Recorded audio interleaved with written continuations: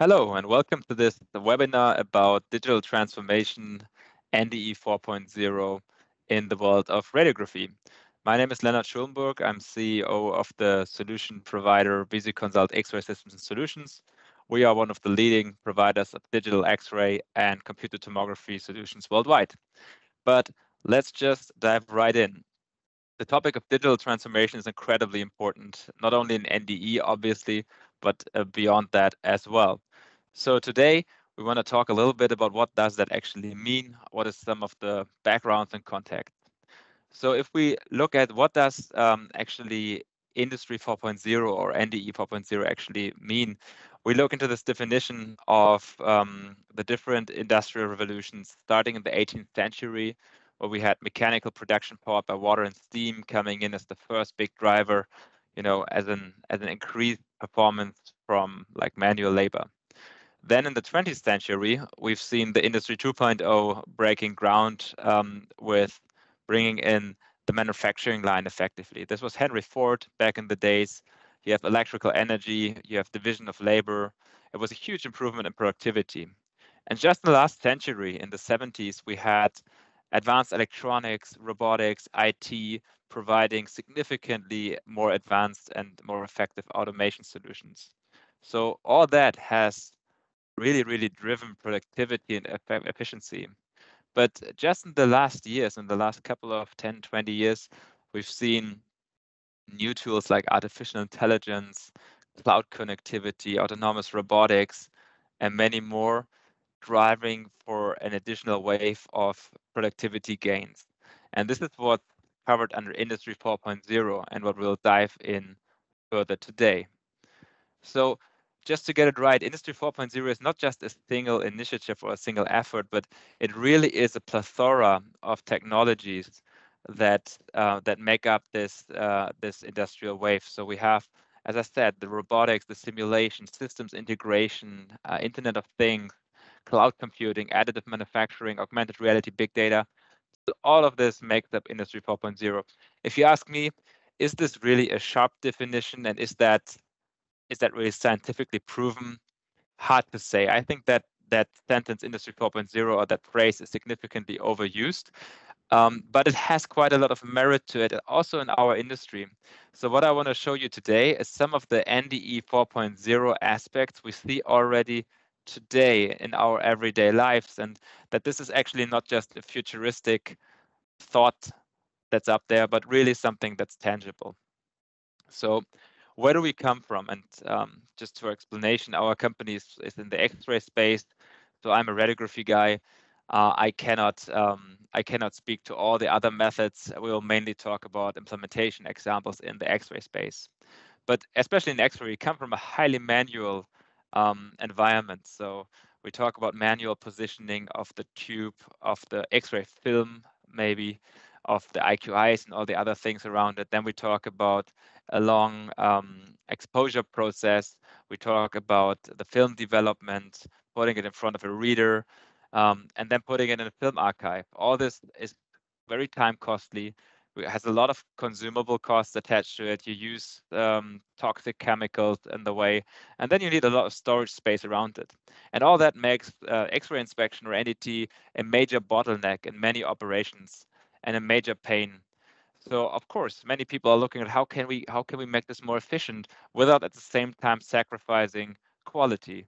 Ideally, we are increasing quality while we do this. So when we talk about digitization or digitalization, we have to acknowledge that this is not a this is not a one-step process, but it can be broken down into the step of digitization, for example. So you have first you need to digitize the information.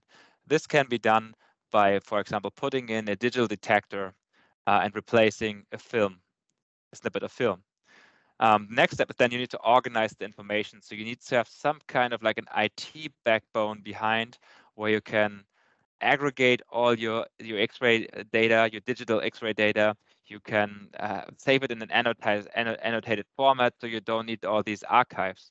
So just by digitization, you're just moving from an analog format to a digital format, and you're finding smart ways to digitize your process too and find a digital archiving system.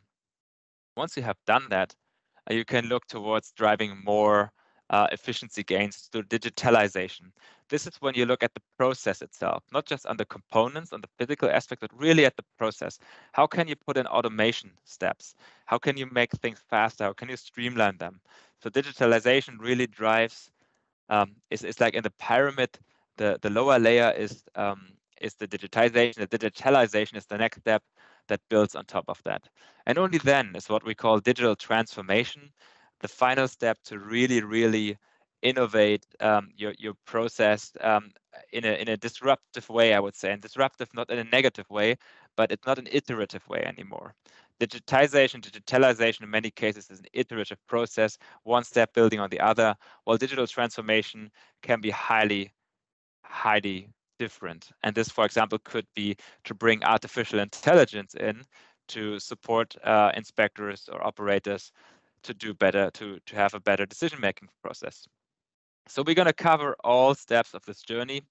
And if we look at uh, the X-ray process um, in specific, we can see that if we if we bring in these different steps of the transformation, we are improving the efficiency of the process. So if you look on the film level on top, you see you have to load the part, place the IQIs, expose the film, remove the film, develop it, evaluate it, store it, it's quite a lot of process steps. We could say this is the NDT 1.0.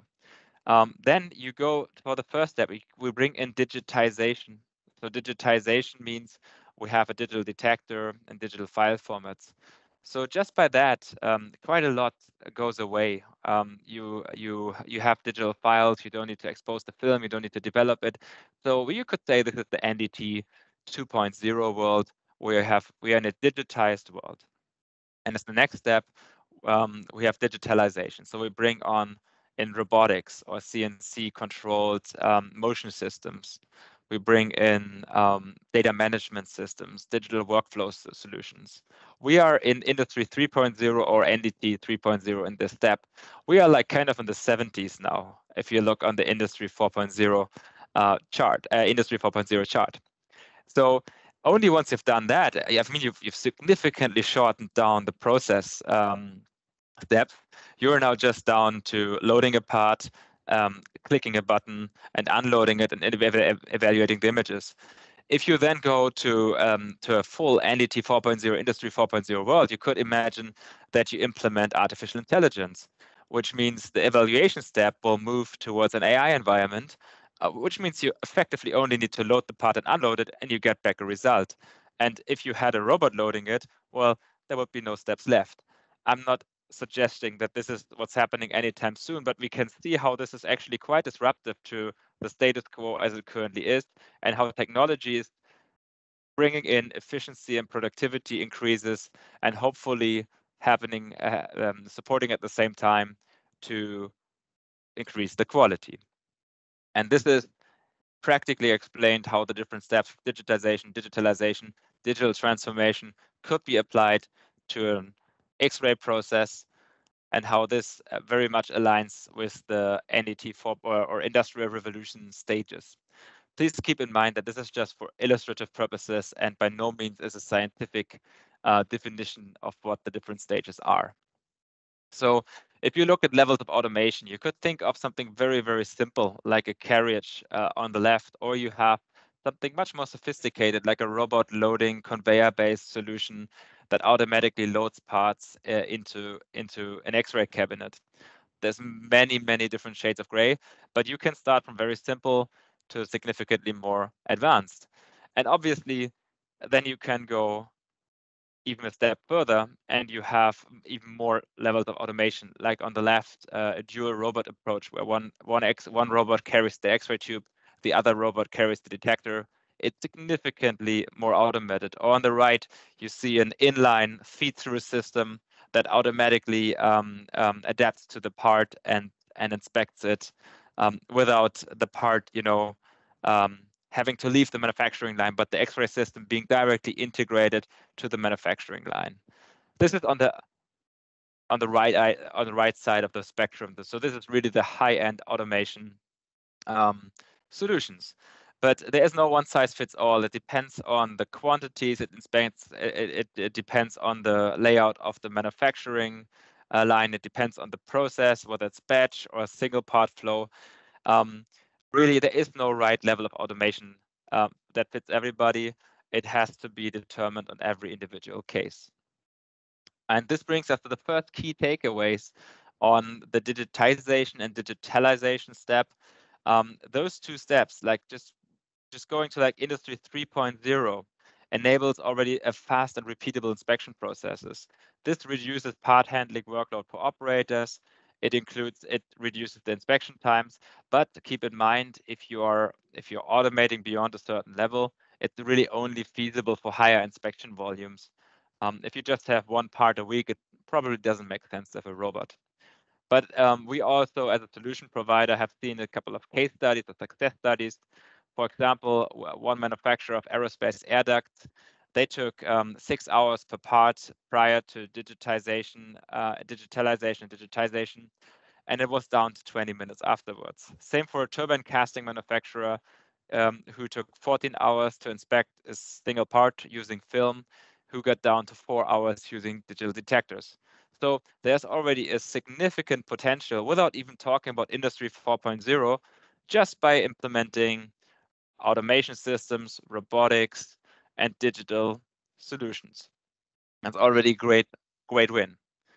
Um, once that is done, you can think about, okay, how do I then connect systems? How do I actually aggregate data and how do I digitize or digitalize my whole process? And for this, we have to rethink how we do how we do work because currently the step of evaluation or reading the images is many times directly integrated into the manufacturing step right at the system. So this means we are on the critical path of, of the parts being processed. So a part, a part can only process to the next step in the manufacturing line if it has been inspected. And if if the reader is going for a toilet break, the line. Or you have buffer or some kind of waste in the system. But you can think about a process where parts are labeled or serialized, so you have traceability, and the parts are just moving through the system until they've reached the next station. The images then leave the physical layer and get transferred to the digital layer. And this is where they are on a server, for example, um, that can be local or in the cloud or in the bigger company network. And you have a central storage system and a central routing system. And the review stations are connected to the server, which means you don't need to review directly at the system. You can review from your office, you can review from a different site over the internet if you allow it, even from home office in, in, in extreme cases. But you have detached um, the physical world from the digital and decision making world. And this gives a lot of examples, uh, uh, a lot of um, advantages, of course, um, in both efficiency, but also in flexibility. You can, for example, have a central evaluation hub in one facility and service other facilities from that space. And it also allows that you directly have the results of your inspection, the inspection reports, the re rework sheet, the scrap documentation in digital format. You have it archived and documented.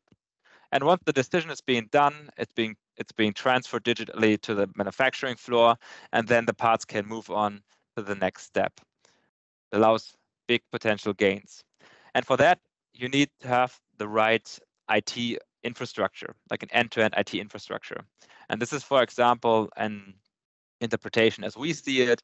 You have your system with your acquisition software, your control software, you're acquiring your images, it moves to a server. This is where you have a storage you have a review station connected to the server. You have a potential connection to your MES or ERP system, so to your manufacturing enterprise system or enterprise resource uh, planning system to communicate the inspection results. So forget the times where you need to have a, a little piece of paper where you need to put a stamp or a sign or a seal on. You can just um, transfer these results automatically and document it in digital format. And obviously, if you are um, connected to other facilities or to other inspection hubs or you have external partners, you can have cloud access for those of you who allow it. If you're on an aerospace and defense infrastructure, maybe that's not for you. But in other areas like automotive or oil and gas, it's pretty normal to be connected to other entities. And obviously, once you have all the files digi digitally, you can generate reports automatically. So you can apply um, automated image processing, you can measure performance, uh, image performance, you can document it, and you can automatically put it in, in reports without somebody doing that uh, anymore, uh, like manually. So you don't need to, to, you save significant amounts of time. I mean, just confirming the image quality through um, uh, image quality indicators sometimes can take 15 to 20 minutes. If you have all that in an automated workflow or process, it can take just less than a minute. So that's significant time savings. And by having that put that into your inspection programs and inspection sequences, you don't have to remember that somebody does that and puts it in a spreadsheet or even worse on a piece of paper next to the system. But you can put intervals into the system. So you say every eight hours you need to run such a long-term stability test. Only if the test is passed, you can move ahead with the production. If the test is not passed, the system is blocked and a level three has to look at the issue. So there's a lot of nice policies that you can embed into such digital solutions.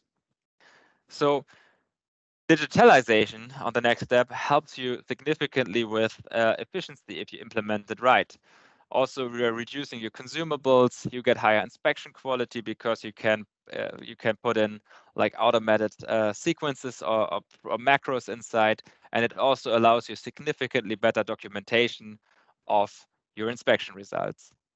But digitalization also has its challenges. I mean, imagine you are cutting down your inspection time from 14 to 4 hours per part. This is great. Your management will probably say, amazing.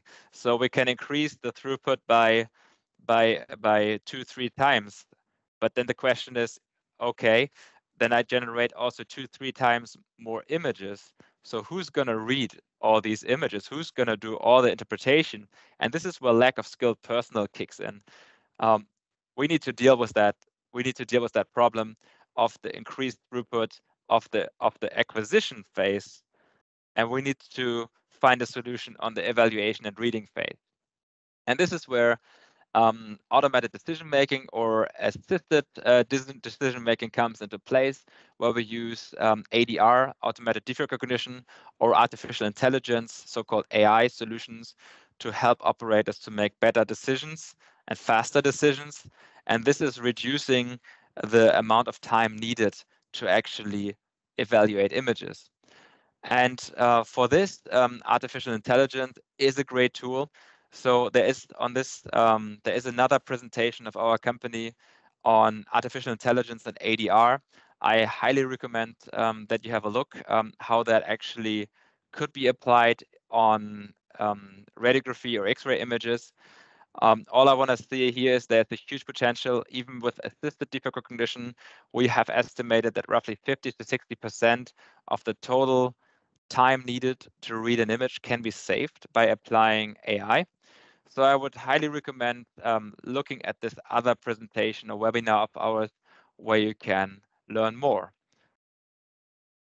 But closing that chapter and going to, back towards Industry 4.0, the main part of Industry 4.0 is what we call the cyber physical feedback loop. That might sound complicated, but I will walk you through very quick. So your system and your part is in the physical world. It's a physical system, it's a physical part. Once you put the part inside the system and you are taking a digital radiography image, you are digitizing industry, right? Remember the, the, the, the first step, NDE 4.0, you're digitizing your physical part into a digital world. And then you're applying data processing on it. We are we are then in the next steps. We are in the industry 3.0. This is where you're actually applying image processing annotation features on that image. So you do something to a digital image in a digital world. And what Industry 4.0 then is that you generate a movement, that you change something in the physical world. So you're closing the gap, physical to digital, digital to physical. You're driving you're driving the feedback loop and making a change. And this is this is the core concept. And I will try to give you some examples. For example, you have a casting machine, let's say in an automotive environment. You're producing um, these automotive shock towers, for example, and you're putting it into an X-ray machine. Uh, let's say the X-ray machine is on the other side of the shop floor. So you're producing and they only arrive at the X-ray system a day later because they need to cool down, they need to be stored, they need to be um, maybe a little bit processed, and then they arrive a day later. You apply the X-ray process and you look at the results and you're saying, oh my God, the quality is really bad. I have a lot of porosities. This is all junk, all rejectable scrap. You call your colleague at the casting machine, hey, um, you, you had a you have a problem in your parts. They say, okay, tell me the batch number. You give them the batch number, it's from a day before. Guess what happened? They look into the x-rays, they, they look into the casting system. They found out the mold has worn out and they are producing bad parts due to that. So the problem is they have been continuously producing bad parts until the time we found out that something is wrong. So let's say there's a day of production or one and a half days of production is wasted because we had that information too late. Now let's think different um, they are reconfiguring their workshop. They found out their problem. So now they are putting in the X-ray system directly next to the casting system. They put in a robot. So the robot takes out the part from the casting system, does some deburring on it, maybe maybe you know gets cleans it up a little bit, puts it directly into the X-ray system. In the X-ray system, we have an ADR, so an, an automatic image processing solution that evaluates the images and automatically gives back the number of porosities and the decision whether it's okay or not okay. So with that decision, we know roughly 20, 30 seconds after the casting process, we know whether we are producing scrap or not. And that all that data is being fed back into the MES and ERP system. So we are learning a lot, a lot at the same time. And if there's a problem, the casting specialists are automatically informed that there's an issue and they can either stop production or correct the problem. And the good thing is, as they are starting to troubleshoot and changing things at the casting system, we'll see an immediate response in the X-ray system and can have a feedback loop that really is incredibly rapid and drive results. That is that is very helpful. And hopefully at one point in time, we learned enough about the data that we have figured out how maybe the casting system can optimize itself. So we are an R&D pro project in Germany where we are trying to figure out how can evaluation automatically help or the inspection process automatically help to improve the casting system. So you have a closed loop uh, that will optimize itself. And this ob obviously re results in us thinking about data. And if we look in the value of data, remember our example before, we had on the, on the x-axis, we have the time. So if we look at a result a couple of days later, the value, the y-axis is quite low because this is not really actionable data. We we we are too late. This is um, this is nice historic data, but it doesn't really help us to change the problem, to fix the problem now. So we want to go as close towards the incident as possible. Ideally, we want to be in real time, which means mere seconds to minutes after after the incident occurred. And this is what we are trying to to achieve by bringing inspection closer to the production and providing data insights to our operations colleagues. And we hear a lot. There's the nice thing is that big data, our data is the oil of industry 4.0. We have to be very careful that we don't go into the big data fallacy. Data itself is worth nothing because we need to bring in the, the, the knowledge and the know-how to structure the data. So we need to sort it, we need to arrange it, and we need to present it visually. This is incredibly important to actually make it actionable data. So it's not enough to just save everything and capture all data. We have to be very selective in what kind of data we capture and why we capture it. But once we've done that, we've actually created something that is an industrial sensor. And this is this light bulb here. So our X-ray system has become an industrial sensor. We are providing data, insights to our colleagues that are optimizing the production process we are not only seen as an, I mean, today we are only seen as an end of line quality assurance tool. So NDE is that necessity we need to have to give a pass or fail decision. This is incredibly important, and this will always in the future also be our main objective. But we can generate significantly more value by giving our colleagues insights into their manufacturing processes and parts. And this is what NDE or NDT can do become an industrial sensor, and add value beyond what we currently do. And with all that, we have really nice ways of visualizing that um, to actually show the, um, the, the trends, show the data, show um, scrap rates, show hotspots in your parts, and show people what's going on inside your parts. It's extremely value and valuable. And if we are talking about this, we are really talking about Industry 4.0. This is something the last in the last years nobody has done. That data went to waste. Nobody used that data. So let's tap into the value of this data and use it properly. Um, that brings us towards the topic of digital twins. So a digital twin or digital shadow is the digital representation of anything physical. For example, one of your parts. You can create a digital twin of your part, but also on machines. Digital twins can have machines too. So our, our machines, for example, have a digital version of itself to make sure you can program it offline.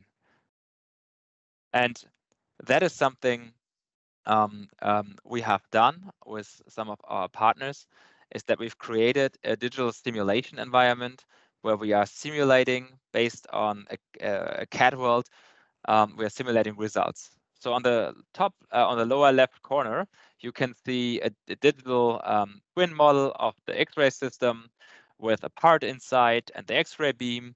And based on the positions in the digital twin model, you can simulate X-ray solutions. And then you can import the whole inspection sequence to the real system. So in the future, you do not have to stop your line and you have to stop inspecting to create a new technique, but you go to your digital twin environment, you load your part, you do your inspection, you optimize the views, and then you're um, exporting it to the real system and applying it in the field. And that, um, to just close off that topic, and that obviously is a huge huge gain. And this is the topic of simulation in Industry 4.0. So another Industry 4.0 topic. And uh, when we come towards the topic of additive manufacturing, computer tomography becomes hugely important. So CT being a technology where you are using um, automation systems or robotics to automatically um, scan parts, take a lot of projections while you're turning the parts, and then creating a three-dimensional representation of those parts. And I can tell you, what we are talking about here is a digital twin. We are talking about the digital twin of a welding line, of a casting part, or an additive manufactured part. So computed tomography is a major enabler technology to build proper digital twins of your parts. So it's it also it also falls under the industry 4.0 category. And this is then where really digital twins kick in.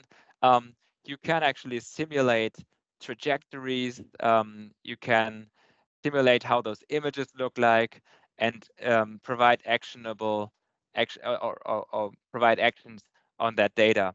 But you don't need to you don't need to experimentally um, figure it out um, in the real world. You can do it in the digital world. And what examples is that? Um, you can optimize the results. So what you see on the left and on the right is the same amounts of projections in CT, um, just in different locations. So on the left side, you have a classic like sampling in, a, in like a Feldkamp reconstruction way. So you are um, you're you're choosing projections that are not optimized, just regularly um, regularly um, put on this orb. On the right side, we have used artificial intelligence to actually put the projections in a way that they are optimized to get the much the most information out of that data. How did we do that? Um, by importing the CAD model of the part and then using AI-based optimizers to find the best trajectory. And see on the right and the left, the same amount of projections is a huge increase in quality. And this then leads to um, to to even better um, inspection based on digital tools that help you to optimize. So you want to make sure that, for example, you don't have views that have a bad gray value distribution because you have two of these pillars here overlapping. This is a much better view than this one. We as humans know that. So if we are if we are setting up a scan, we are automatically setting it up in a way so that we will see it like this and not like this. but why not have an AI or a digital twin environment helping you to find out the perfect view to inspect a certain area? And and what you see here is how we are actually getting there by using AI from a baseline model with 1,400 projections down to 100 projections. So what you see here is an optimizer that is really reducing the amount of projections until we've reached an ideal result. And then you can see how we got from a baseline 1,400 projections scan to a 100 projection scan where you still can see the same features. So this is 114th, no 114th of of the scan time. It's it's absolutely significant. At 114th, sorry, it's 114th of the scan time compared baseline model to optimized model. If you would have not optimized, this is how it would have looked like. You would have not seen anything but you can get significant time improvements by using simulation and digital twins to apply it to your technique generation. So this is another aspect of Industry 4.0. And with that, you can, of course, also optimize X-ray parameters. So what we see as a human and we think is a good image, we can actually quantify an algorithm. So you can put in um, quantification um, um, parameters like penetration, overexposure, um, gray value range, number of peaks and others to actually optimize an X-ray image so that it gets, gives you the best performance, the best sharpness, for example. So you can optimize all the different parameters like KV, MA, uh, pre-filtering, um, binning, and many others to automatically derive the best possible solution. And we have actually done that um, uh, in our software so that you have a lot of parameters like X-ray tube parameters, detector parameters, and, and then, then what you get out is a quality score based on gray value distribution, number of peaks, signal to noise ratio, sharpness ratio. And what you can see here is an optimized image. Um, you actually, um, I think you can, yeah, the, the, the old values are here in, in the brackets you can see that you have increased the signal to noise ratio from 7 to 139. Significant improvements based on automatic um, automatic optimization of the X-ray results. And this is really, really helpful. Of course, a good level three, a good level two knows these things from heart, but we are in a, in a world of lack of labor. So you might not have super experienced people. So you want to give them digital tools that help them to come to better decisions or at least get a better image in the first place.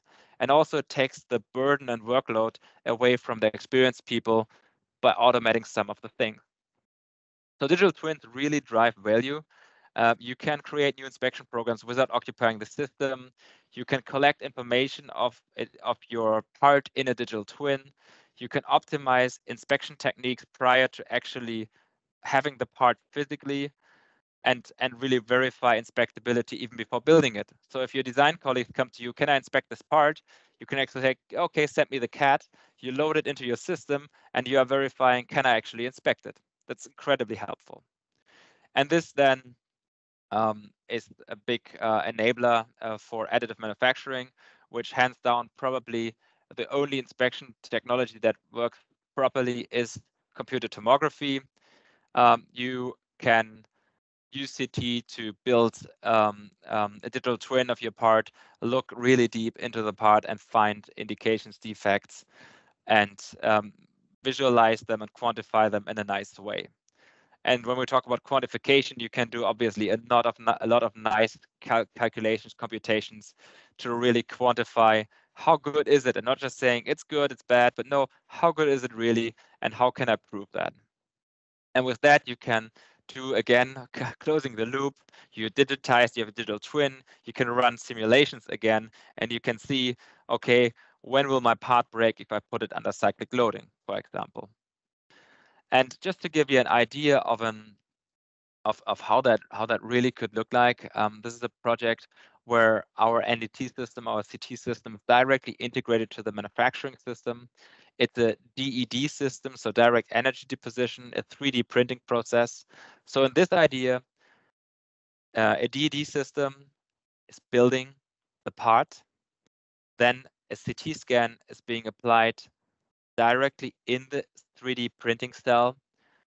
The results are communicated to a drilling machine. So the drilling machine or CNC machine is drilling a potential defect out of the DED part.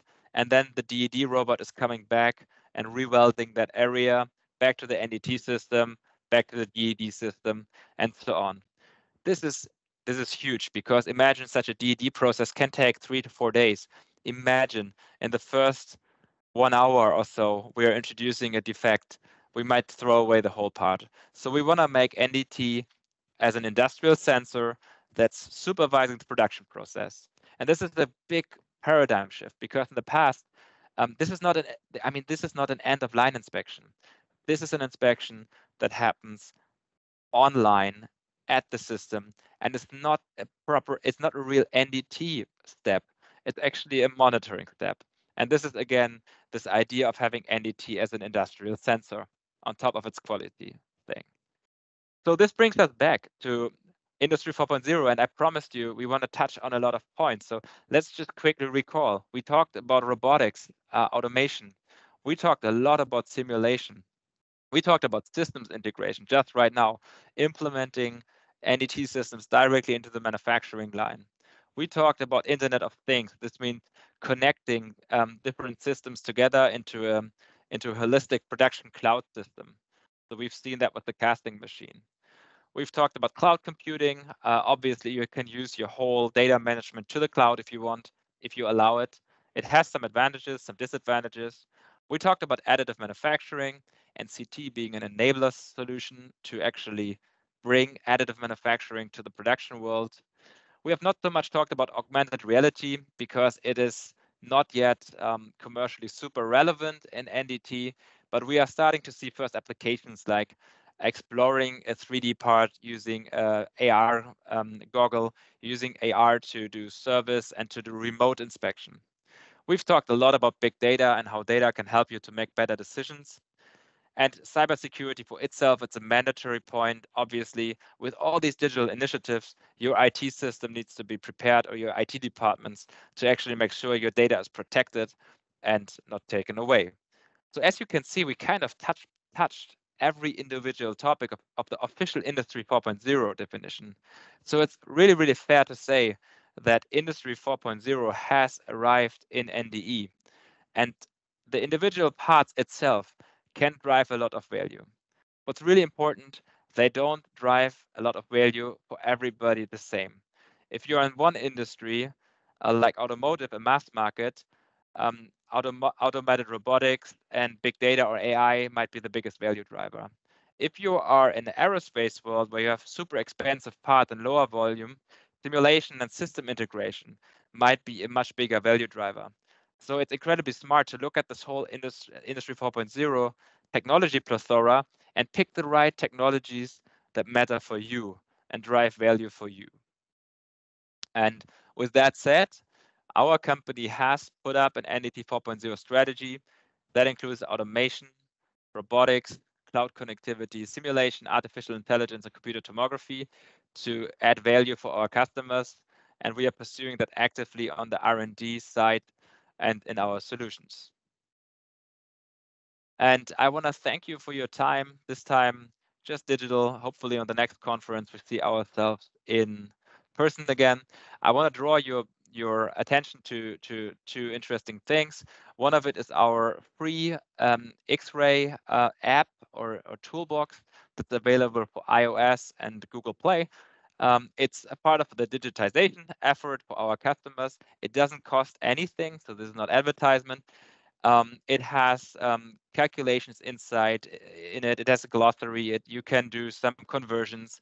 You have all the IQI calculations inside. I highly recommend you download it. Um, it's called. It's found under NDT X-Ray Toolbox online.